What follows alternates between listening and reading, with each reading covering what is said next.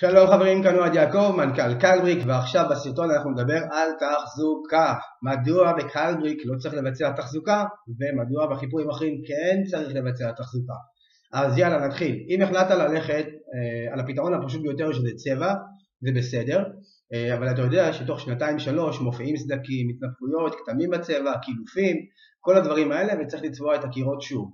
נכון שלא כולם צובעים כל שנתיים שלוש, זה לא בסדר, וזה לא אומר שלא צריך לעשות את זה, אוקיי? ולכן אתה יודע שאחרי שנתיים שלוש אתה צריך עוד פעם לצבוע את הקירות.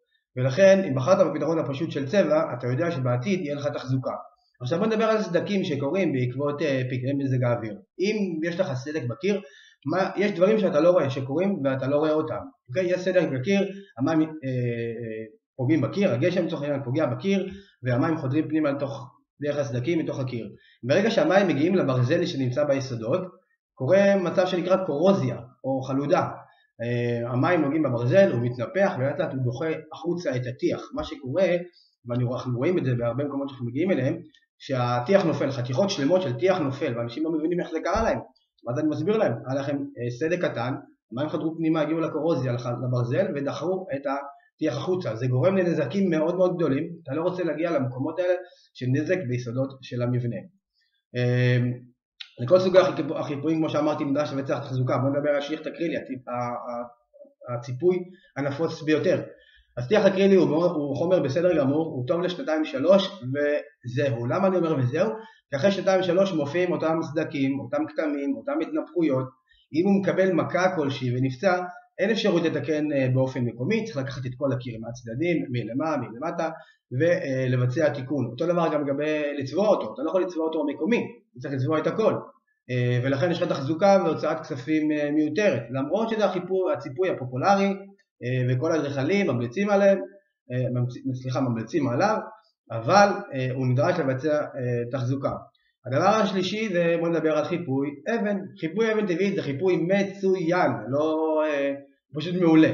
רק מה, יש לו שני דברים מאוד uh, חשובים. אחד, המחיר, מחיר מאוד יקר, ממוצע זה בסביבות 500 שקל למטר, מטר מרובע. Uh, הדבר השני, כל שנתיים שלוש צריך וחייב למרוח סילר. סילר זה חומר שמגן על האבן, שהיא לא תספח אליה כתמים, שלא ייווצר עליה עובש, ושהיא תמיד תיראה חדשה וטבעית, שהיא תיראה uh, בצורה הרגילה שלה, הטבעית שלה.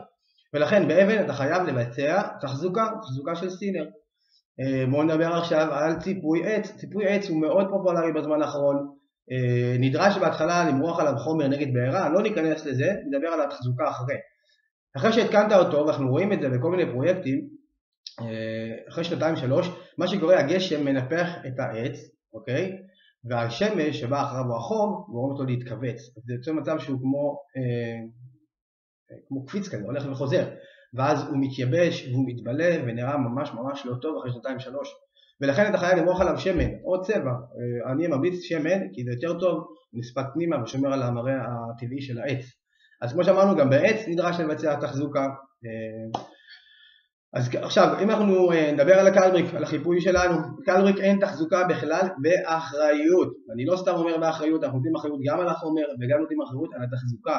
אין תחזוקה החיפוי עשוי מתשלובת של מספר חומרים מאוד חזקים, זפת, חומר מאוד חזק ולא מתבלה ולא מתכלה גם, אוקיי? הוא שומר גם על, הוא שומר על המבנה מגזר האוויר, מפני חדירות של מים, נותן איתום וכאלה. החומר השני של קלבריק מורכב זה זכוכית, זכוכית אתם יודעים, חומר חזק, חומר שהוא לא מתכלה, אה, מאוד מאוד חזק ועמיד לטווח ארוך של הרבה שנים.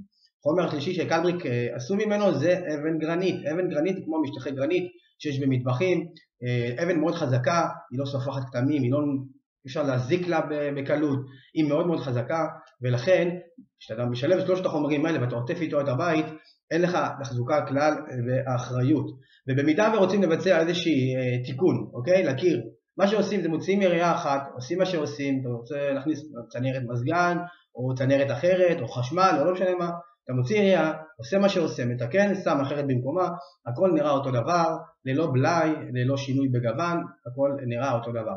אז אלו היו הדברים שהראיתי לכם שבחיפויים נפוצים אחרים כן צריך לבצע תחזוקה כל מספר שנים ובקלבריק אפס תחזוקה ל-20 שנה וזה אני אומר לכם באחריות. אה, אז אני מאוד שמחתי לראות אתכם בסרטון הזה ואני מקווה מאוד שעזרתי לכם לקבל את ההחלטה הטובה ביותר של... בשבילכם.